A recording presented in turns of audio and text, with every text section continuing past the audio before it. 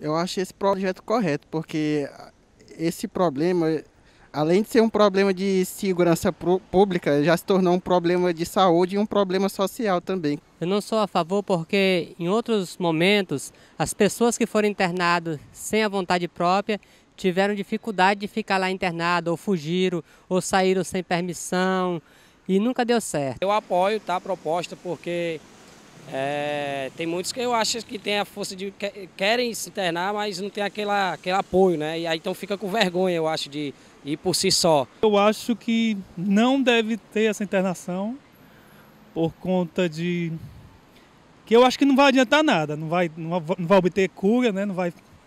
A minha opinião é essa.